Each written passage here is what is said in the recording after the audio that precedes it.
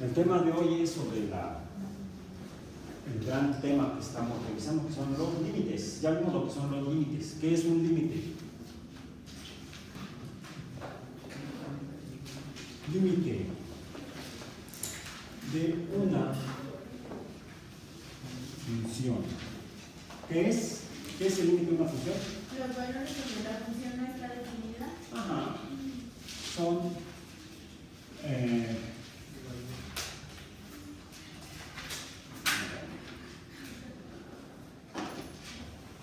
vamos a ponerle valores donde f de x no está definido no, no existen valores para f de x en esos, en esos valores correspondientes de x. f de x, la función es y, y entonces y en esos lugares, en esos valores de x, no tiene un valor numérico correspondiente.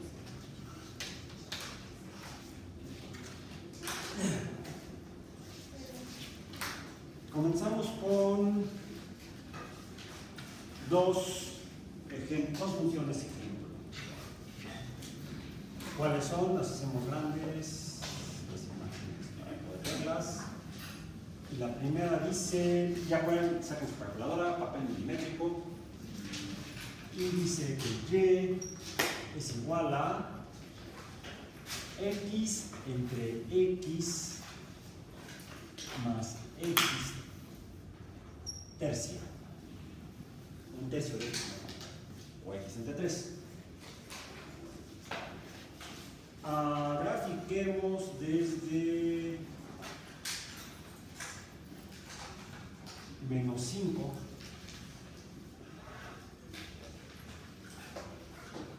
x menos 5 hasta más 5. ¿Cuáles son los valores de y para este intervalo? Menos 5, menos 4, menos 3, menos 2, menos 1, 0.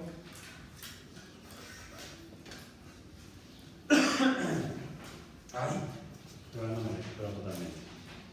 1, 2, 3, 4 y 5 positivos. ¿Cuáles son los valores de y? Voy a irme adelantando escribiendo la segunda función que tenemos en la imagen. Mientras ustedes hacen estos cálculos. La segunda función es y igual a menos x entre x más x entre 3.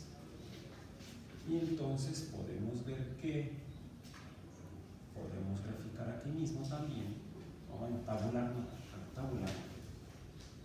los valores de y para la segunda función en el mismo intervalo. Y voy a poner una tercera función que va a ser y igual a x entre x más x entre 3, pero en este caso vamos a tener el valor absoluto de x entre x. Por lo que ahora necesitamos poner una tercera y para obtener esos valores de, de con estos valores de. Tenemos tres funciones. Vamos a compararlas. Y para eso vamos a compararlas gráficamente, déjenme ver si me sale. Por el, asunto de que ahorita Sigo como judío errante, como perito sin dueño, como nuestros ancestros. Este, we were wanderers from the beginning. Errantes, vagabundos. Sí, sigue el edificio cerrado. Ni siquiera puedo regresar a él. X Y, menos X, menos Y, salud. 1, 2, 3, 4, 5,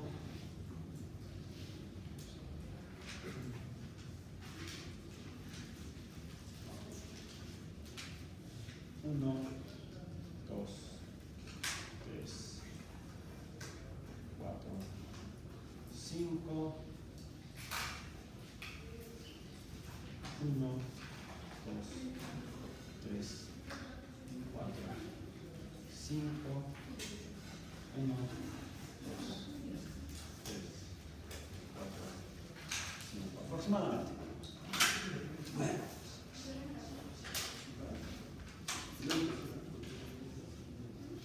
Cuando x, para la función azul, cuando x vale menos 5, ¿cuánto vale, cuánto vale y?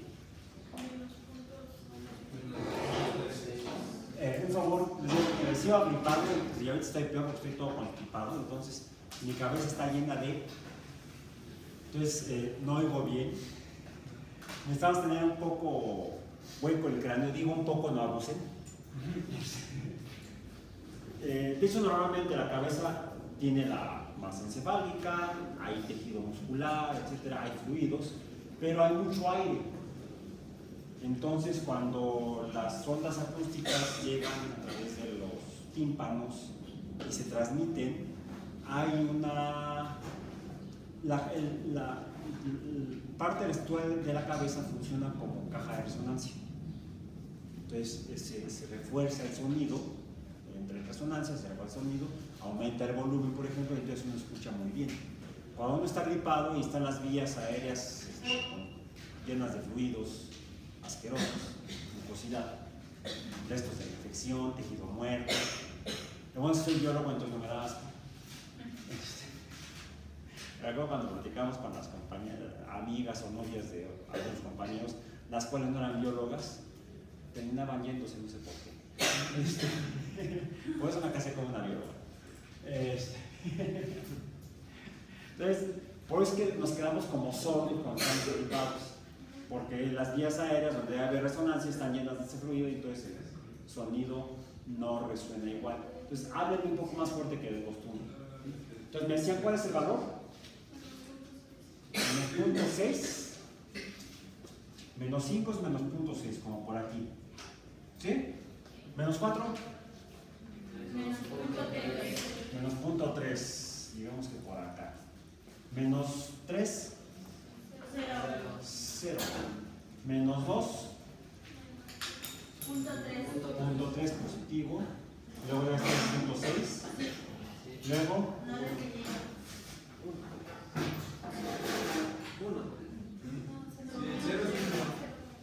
¿es 1? No.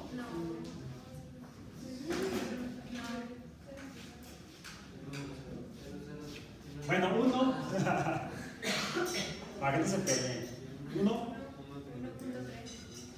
1.3, 1.6, 2, 2.3.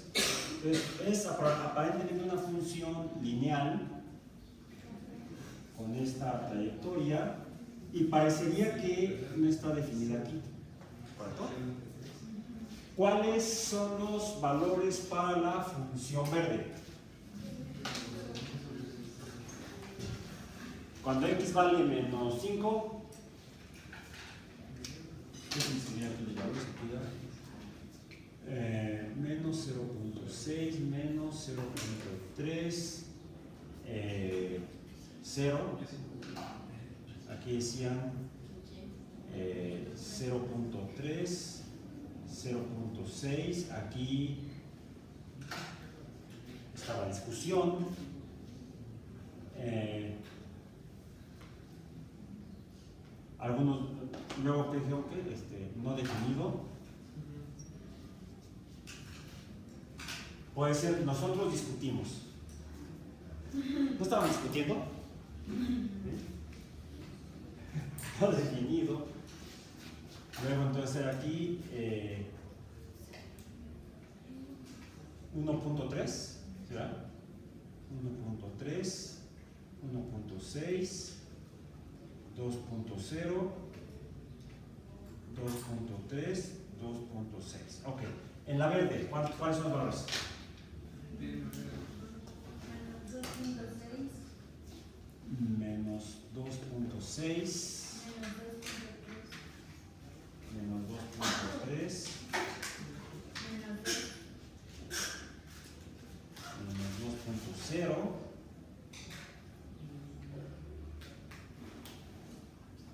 luego Menos 1.6, 1.3, otra vez,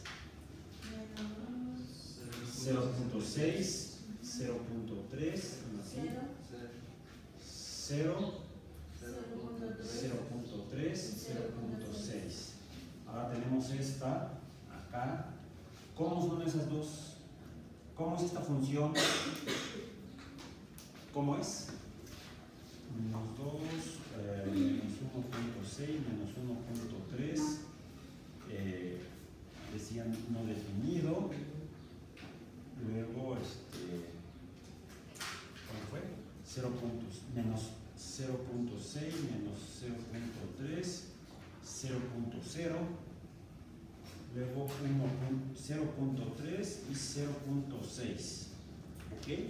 Bien. ¿Qué pasa con la función roja?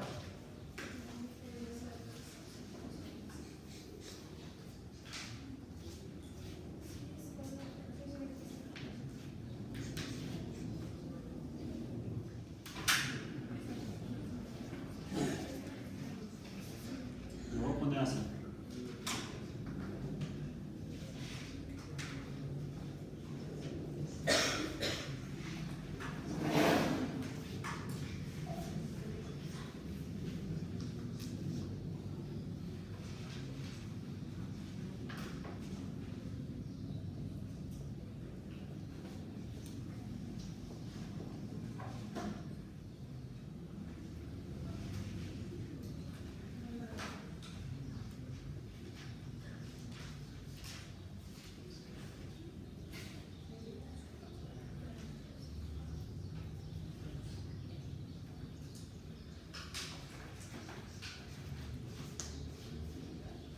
Esta, del lado derecho de x, es la función, es al revés. No, no está bien, está bien, está bien, está bien. Negativo, lado izquierdo. Lado izquierdo. Es la función verde. Del lado izquierdo de x es la función verde. Y del lado derecho de x es la función azul.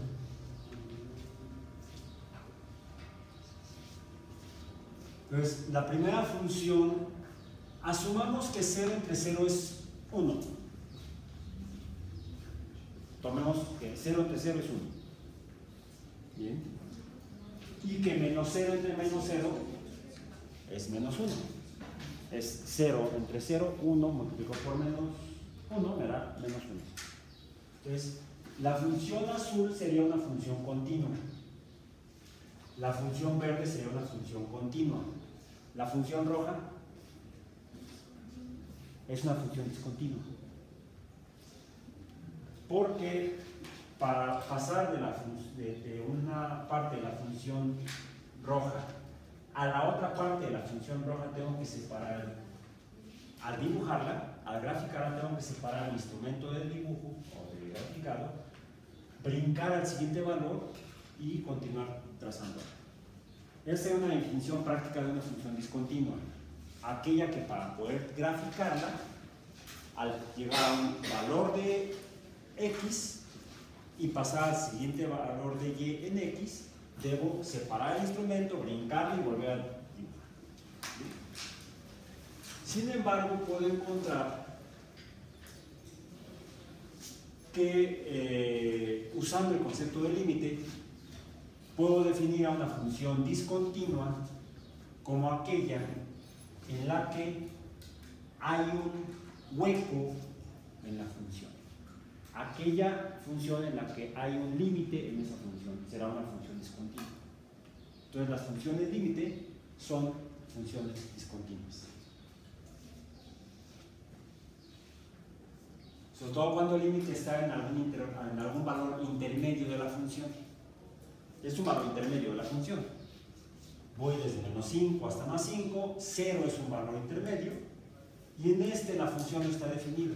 O sea, en este valor de x igual a 0 hay un límite a la función, por lo tanto es una función discontinua.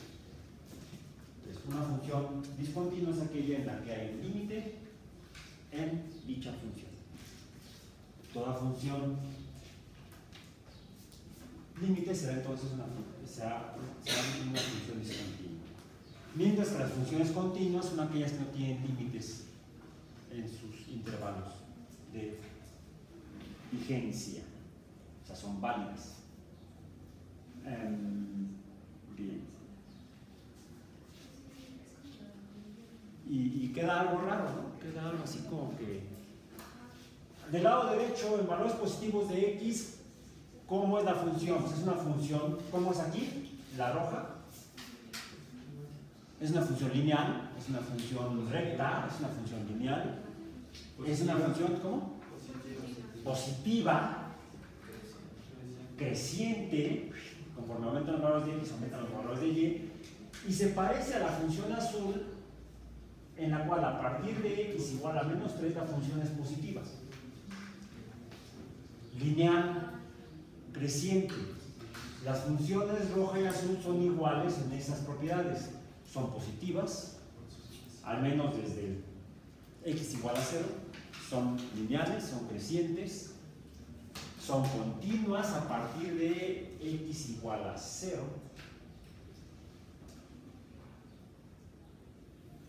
La función verde también es una función lineal, continua, creciente, pero a diferencia del azul como es a partir de x igual a menos igual x igual a 3. Positiva. Bueno, este No, es negativa. Ah, de- hasta e- dije hasta x igual a 3. Ah. Hasta x igual a 3 es negativa. ¿Sí? Entonces esta es negativa. Desde x igual a 0 a valores menores de x son más negativos, la función es negativa, igual que la función roja en este intervalo. Pero se distingue la roja de las otras dos en el sentido de que no es continua. Si es lineal, es una función lineal, no. No, porque no es una línea recta.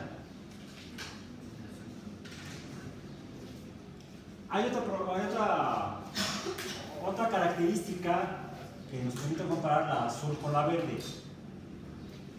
Ambas son crecientes, lineales, continuas, pero una está trasladada respecto a la otra. La azul está trasladada verticalmente respecto a la verde en, en sentido positivo, o la verde está trasladada en sentido negativo verticalmente respecto a la azul. La función roja no es una traslación de las otras dos. No. Y entonces tampoco es una función lineal, porque no es, les digo, no es una línea recta, son dos. Está medio loca, ¿no? Se parece a gente que yo conozco. Em, bien. Entonces, ¿es lineal? No. Son dos líneas rectas. No es una, son dos. Em, podemos asumir que cuando x es en la, en la cuando x igual a, a 0, y entonces vale x igual a 0, y vale 1. Cuando x igual a 0, y vale 1. En la verde, cuando x igual a 0, y vale menos 1. Cuando x es igual a... Ok. En el caso de la función roja, ¿qué sucede?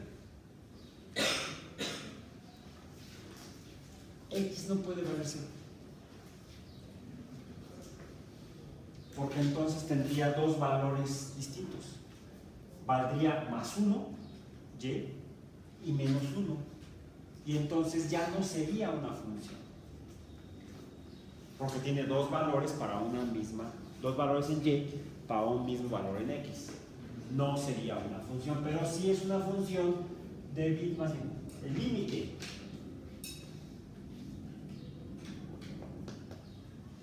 Cuando x es igual a, es igual a cero. Cuando x tiende a cero, de x entre x absoluto entre x más x entre 3 ¿cuánto vale?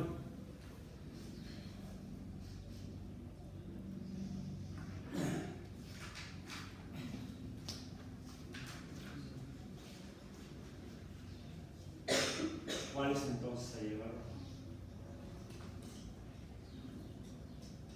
Habíamos visto en las funciones anteriores, en los ejemplos de límite de función anteriores, que el límite de la función tenía un, un valor numérico en el cual la función está definida. El límite de una función es el valor donde y no está definida. Pues vean cómo lo pusimos aquí. Valor es. Valores. En este caso, esta función, vamos a decir que tiene dos, no es que tenga dos límites. Tiene un límite, pero visto desde dos ópticas distintas. Una es cuando voy de valores grandes de x al valor mínimo de x, donde la función no está definida, que es de aquí hacia el origen, hacia allá. Los valores positivos de x en el sistema de referencia cartesiano, ¿dónde están físicamente? Dígame dónde lo ven en el pizarrón. Arriba, abajo, a la derecha, a la izquierda. ¿Eh? X, más X. A la derecha. Están a la derecha del pizarrón.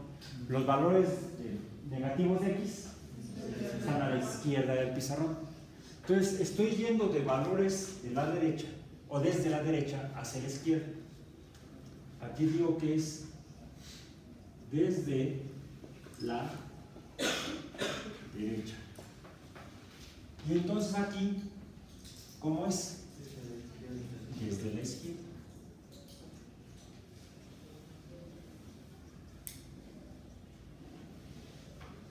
Entonces, aquí la función, esta función tiene un valor límite desde la derecha y otro valor límite desde la izquierda. El valor límite desde la derecha lo represento yo así.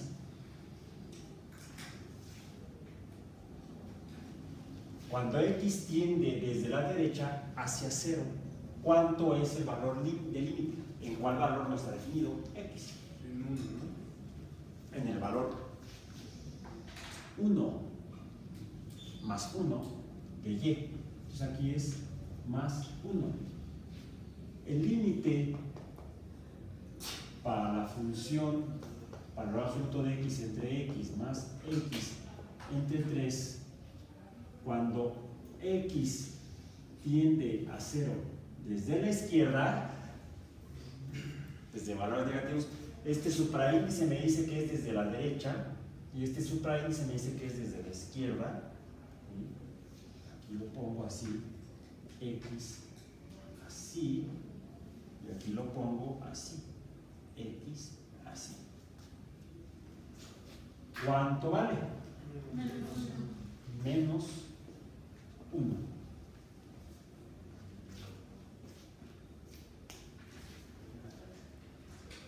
Es una variante de comportamiento de límite en funciones.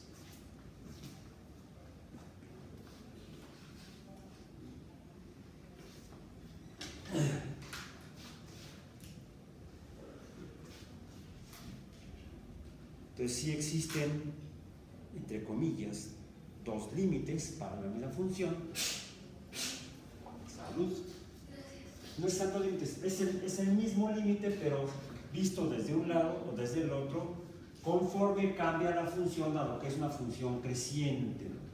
La función es creciente.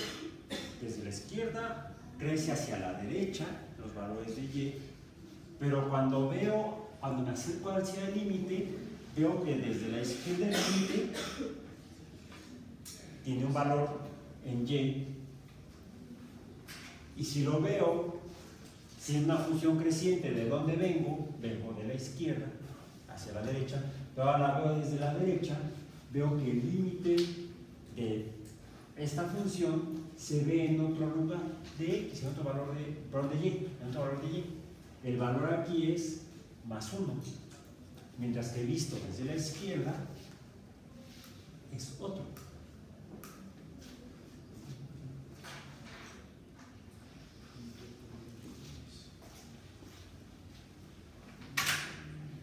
Y esto tiene que ver con cosas que existen en la realidad. Habrá fenómenos que se comporten así en la naturaleza y en la naturaleza biológica. Fíjense que sí. ¿De qué están hechos los seres vivos? De células. Es la teoría celular. La teoría celular es, uno, es el primer paradigma fundacional de la biología como ciencia moderna. La teoría celular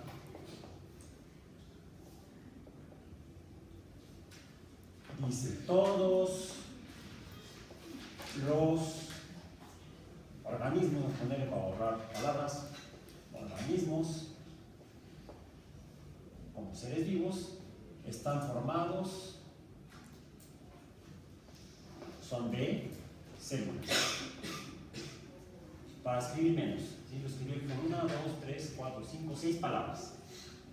Y no todo el rollo de todos los organismos en la Tierra están formados por células.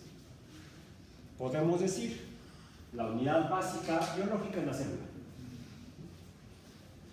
Por cierto, complementando la idea de los paradigmas fundacionales de la biología, la segunda teoría es la teoría genética, la información hereditaria o por qué los organismos se parecen, los hijos se parecen a los padres, etc. Pues porque eh, esas características se transmiten eh, en la reproducción de padres a hijos, de abuelos a padres, a hijos, a nietos, a bisnietos, etc. Eh, y esa información se transmite en la unidad básica hereditaria. ¿Cuál es? El gene. El gene es la unidad básica, la unidad fundamental genética. La célula es la unidad estructural fundamental. El gen es la unidad eh, de información hereditaria. Y el tercer paradigma es que los genes cambian con el tiempo. Se modifican, mutan y por eso ustedes se parecen a sus padres, pero no son idénticos a sus padres. Se parecen a sus abuelos, pero no son idénticos a los abuelos. A lo largo, ustedes son mutantes. Todos somos mutantes. En ese sentido, la película de, este, bueno, las historietas de X-Men son muy ciertas, todos somos mutantes. Unos más que otros, pero todos somos mutantes. Más, más que más diferentes. Ahora vemos mutaciones, no sabemos. Ok, bueno. ¿De qué están hechas las células?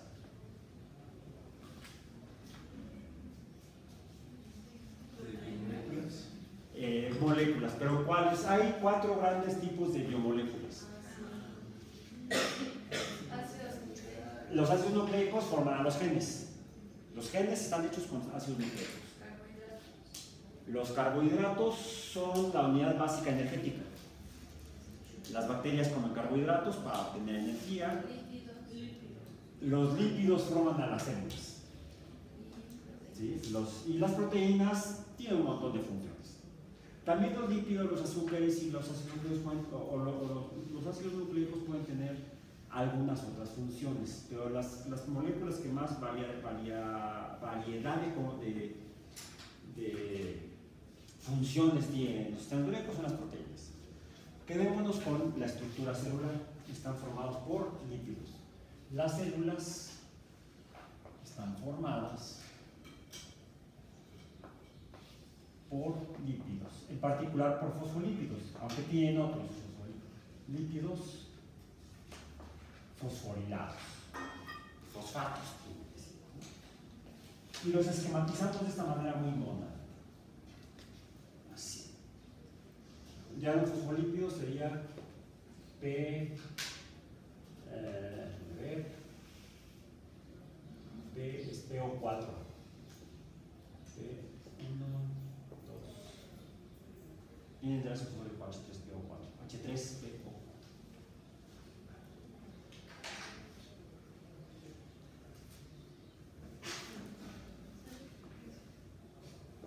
Así. Así. ¿Cómo lo haces?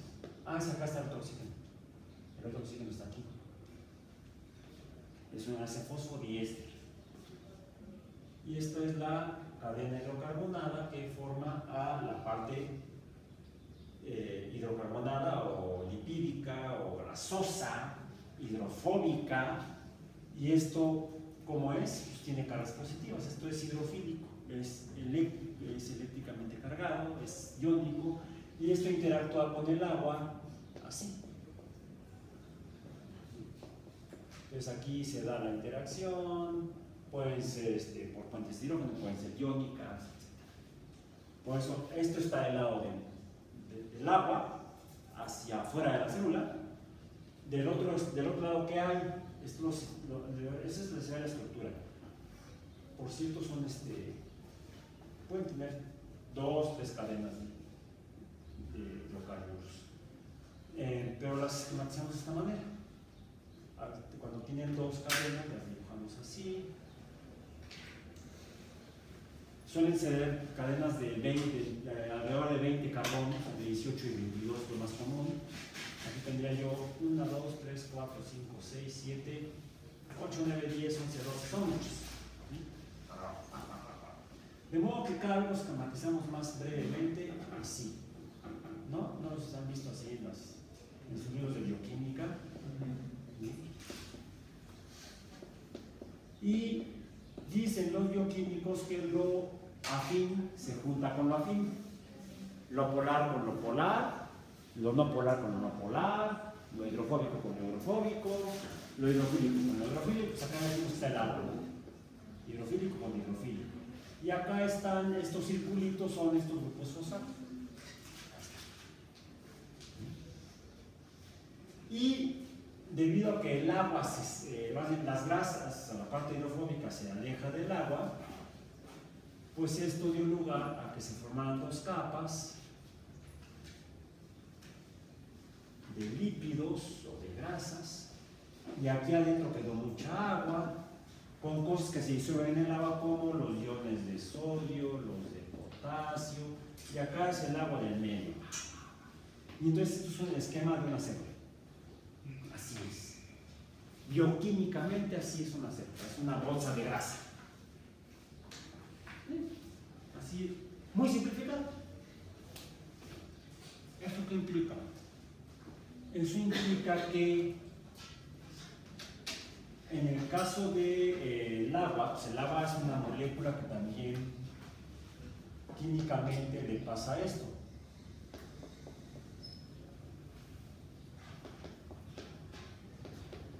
Se disocia. Al disociarse se producen hidrógenos ionizados. ¿Cómo los llamamos? Protones. Y hay una función matemática que ya la hemos visto, que nos define, la, eh, nos define que la concentración de protones en un medio, su expresión logarítmica decimal, multiplicada por menos 1, es igual a qué? El pH. Entonces, si aquí hay agua el agua se disocia, ¿qué puede suceder? pues que aquí adentro va a haber un cierto valor de pH dependiendo de cuánta de esta agua esté así. Y acá afuera también va a haber un pH que estos dos podrían, de hecho,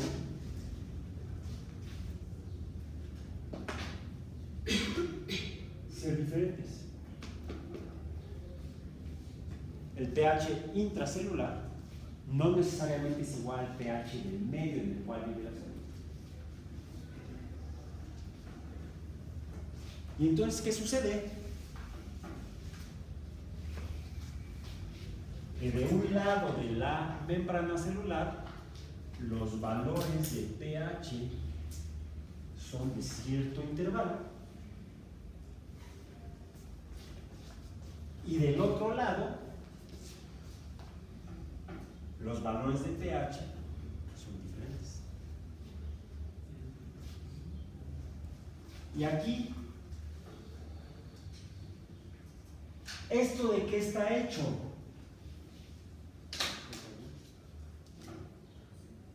Carbono, carbono, carbono, carbono. Sí, aquí hay hidrógeno, efectivamente. Pero estos hidrógenos están enlazados covalentemente a los carbonos y los enlaces son muy poquito polares, son casi enlaces covalentes no polares, los carbono-hidrógeno. A diferencia de los enlaces oxígeno-hidrógeno que son enlaces muy polares. Por eso es que fácilmente se rompen, al menos uno de ellos, y dan lugar a la formación de aniones de hidroxilo y cationes hidrógeno o protones, que son los que dan lugar a la existencia del fenómeno químico de concentración de iones hidrógeno o pH en medios líquidos, también en vapores e incluso en sólidos. Pero en el caso de las moléculas hidrocarbonadas, la disociación iónica de hidrógenos es muy, muy, muy difícil, porque son enlaces muy, muy, muy fuertes, difíciles de romper. Entonces, aunque aquí hay hidrógenos, no se sueltan y por lo tanto no forman protones. Si no hay protones, aquí, ¿cuál es el valor del pH? Acá.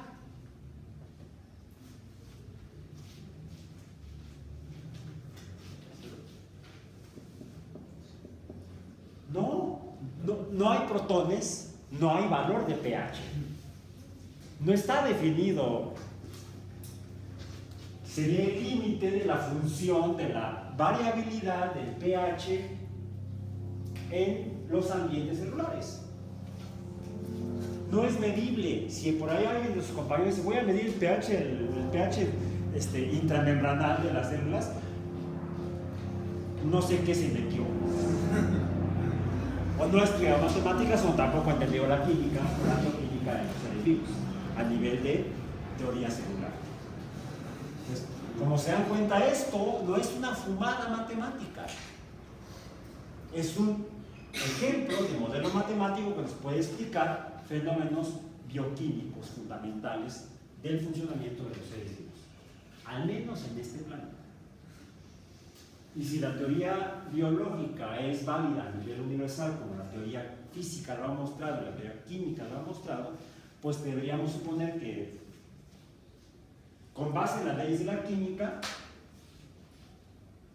es difícil pensar en otras formas de vida que no estén basadas en carbono, en hidrógeno y oxígeno, y por lo tanto tampoco estén basadas en la relación de los compuestos hidrocarbonados con el agua necesitaríamos algo parecido a las células formando entidades autorreproductivas, autoconservadoras, con procesos de retroalimentación, de transformación de energía, que esos son los seres vivos. Ya tenemos una definición un poco más verificable de qué es la vida, con base propiedades físicas, cargas eléctricas, propiedades químicas y modelos matemáticos que nos sustentan a las teorías biológicas. Los seres vivos no podrían estar formados de otra manera que no fueran por células, al menos en el planeta Tierra. Desafortunadamente no tenemos otros ejemplos de seres vivos en el universo para afirmar que pudiera haber otras variantes en la teoría cerebral y quizá no fue una teoría universal. Por el momento es válida. Eh, voy a borrar este ejemplo, igual se quedó grabado en el video, este, para que no digan que esta fue una fumada de regular. No, yo no fumo. Nunca he fumado. No me ha llamado la atención. Entonces no, no suelo meterme cosas raras para tener ideas creativas. No es necesario. Existen las endorfinas. ¿Para qué meterse estimulantes externos cuando tenemos estimulantes internos? Bueno, lo más que tomo es una taza de café por la mañana. Y otra a mediodía, otra en la tarde, otra antes de dormir. Es mi única droga legal. La cafeína. Bien, ok. Em, voy a poner aquí un resumen de lo que vimos. Entonces, esto bien pudiera ser del lado izquierdo el pH como un ejemplo. El pH intracelular este podría ser, no quiere decir que este sea la ecuación de pH, recuerda. Este podría, podría ser como ejemplo el pH extracelular de nuestro sistema trifásico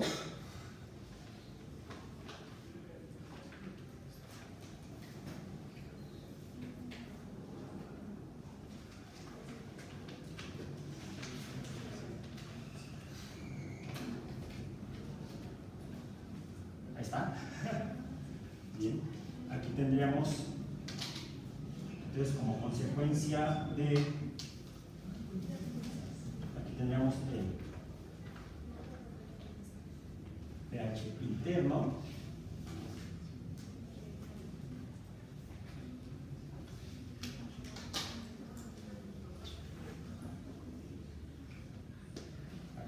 el pH externo y recuerden que el pH se debe a la existencia, las entonces,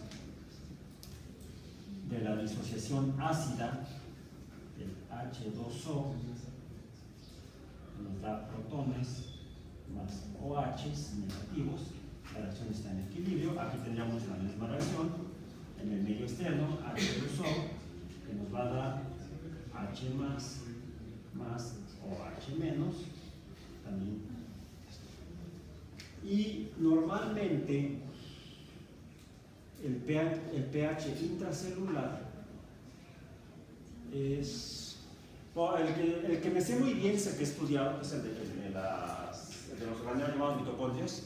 El pH intramitocondrial, intramitocondrial es muy ácido. Es muy ácido. Y el pH extra mitocondrial el celular sería alcalino, entonces el pH aquí sería un pH alcalino y aquí sería un pH ácido. Entonces hay una diferencia de pH, que sería esta diferencia en la función. El pH intermedio, aquí el pH intermedio o intramembranal, este no está definido porque no hay no hay protones aquí en medio. Entonces, es el límite de la función de la, de, la acidez o calinidad del medio acuoso, no tiene validez en el, espacio de la membrana, en el espacio inter, intramembranal, porque no hay protones, no está definido. ¿Sí? Ok. Terminamos entonces con este ejemplo biológico y vamos a una conclusión final de eh, las propiedades de las funciones límite o del límite de funciones cuando, y en la siguiente imagen, cuando interpretamos que vemos que la función azul en este caso original es eh, puede entenderse como traslación vertical de la función verde hacia arriba o a la verde como una traslación vertical de la función azul hacia abajo. Ya hablamos de la traslación de funciones. Entonces, aquí podemos decir las funciones vamos a decir azul, verde,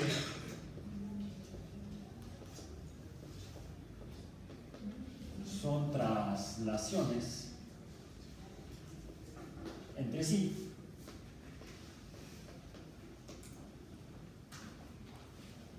Y podríamos decir entonces que, por un lado, um, un límite de una función es un intervalo en el cual la función no está definida y entonces es una discontinuidad de la función. El límite de una f de x es una discontinuidad.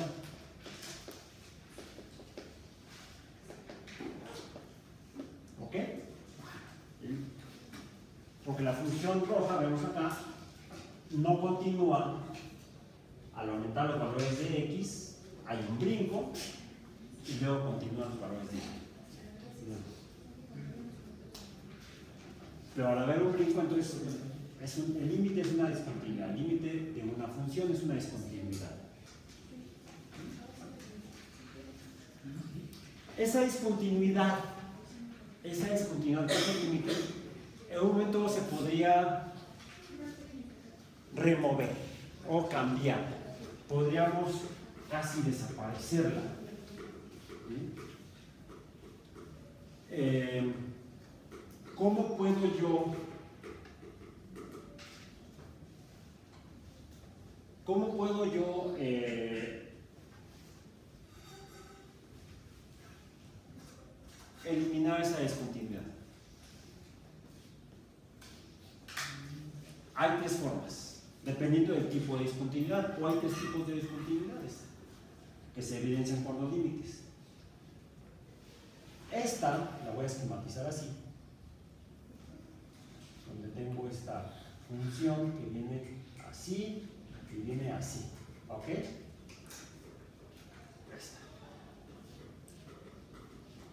Esta discontinuidad la puedo eliminar si yo lo que hago es precisamente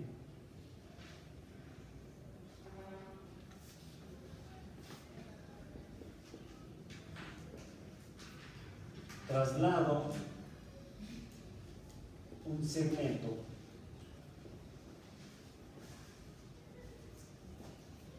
de la función.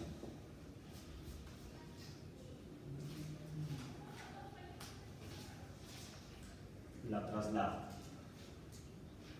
Ya sea la del lado derecho la traslado hacia abajo o la del lado izquierdo la traslado hacia arriba. Son dos opciones. Y entonces convierto a la función roja en la función verde o en la función azul. ¿Qué significa? Que le he pasado hacer ahora f de x es continuo. Ya no es discontinuo. ¿Sí? Es un truco matemático, pero lo puedo hacer. A lo mejor no tiene sentido biológico, pero digamos, a- a- ser que me permita resolver algún problema práctico. Este tipo de discontinuidad o de límite, dado que lo remuevo al quitar este de aquí y brincarlo para acá, o al revés, esta la quito de aquí y la brinco para arriba, se conoce como esta zona, entonces esta es una discontinuidad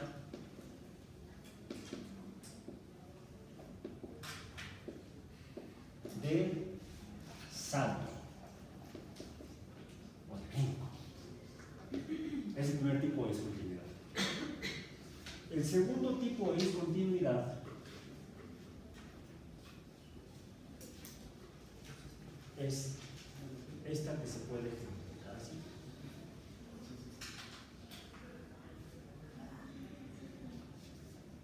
¿Se acuerdan de la función, la primera que vimos cuando empezamos a ver el límite? Que era algo adquirido. ¿sí? Este era un hoyo de una función. La función, si no tuviera ese hoyo, de hecho la, función factorizada era una función continua. La función original no estaba definida en un valor de x, en particular cuando x era igual a 1, no había un valor posible de y porque nos daba un número algo raro. No, no había una forma de representar un valor numérico con x igual a 1 en esa función. Entonces, esta yo la puedo transformar, esta discontinuidad,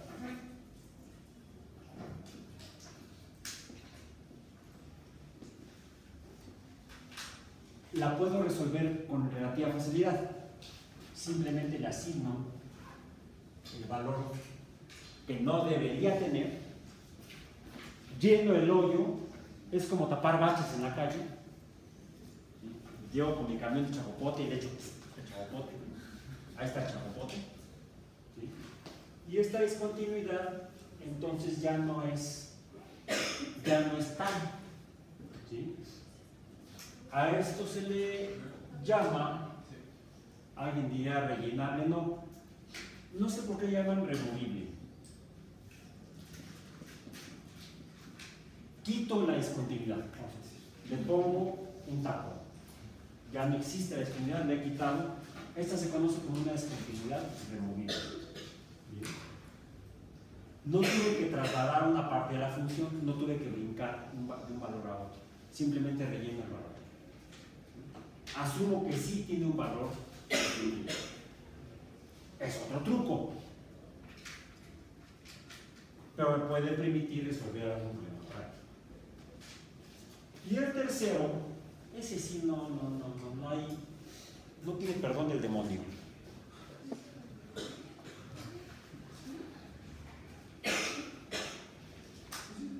Es esta de aquí. Y ya también la vimos la tenemos cuando en funciones como las hipérbolas.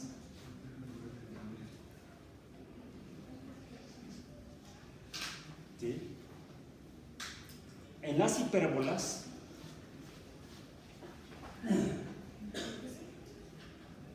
cuando me acerco a la asíntota vertical, cuando el límite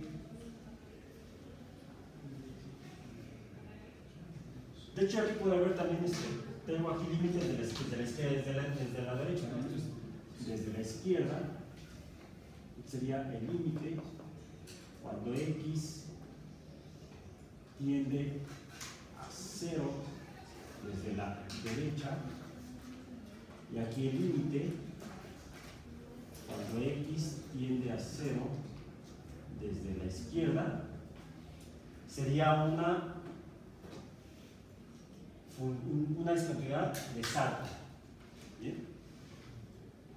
Esta también puedo ir desde la izquierda, cuando x, cuando desde la derecha, tiende a, ¿cuánto x aquí? A 1, ¿no? A 1, desde la derecha tiene este valor, y cuando el límite, el límite de x 1 desde la izquierda, ahí está, lo relleno, entonces es una función, una, un límite, una discontinuidad removible,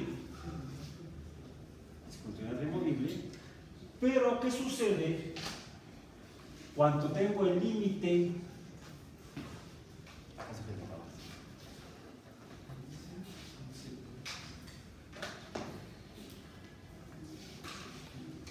el límite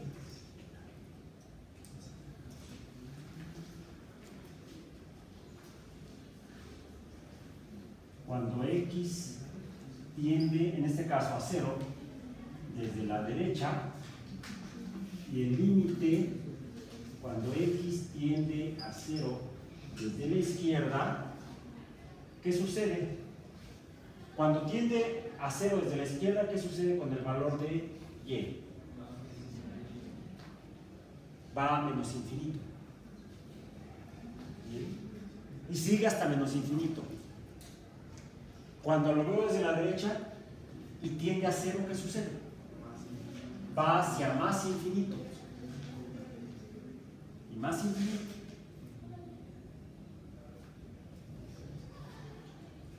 Aquí como el límite es igual a más infinito y aquel límite es igual a menos infinito, no los puedo ni remover, no puedo rellenar el hoyo y no puedo tomar este de arriba y bajarlo y unirlo al de abajo o el de abajo trasladarlo, brincarlo y trasladarlo y unirlo al de arriba. Estos límites no son ni removibles ni trasladables. Entonces, ese límite no hay manera de resolverlo. Por eso es que a este tipo de límite o a este tipo de discontinuidad, a esta discontinuidad,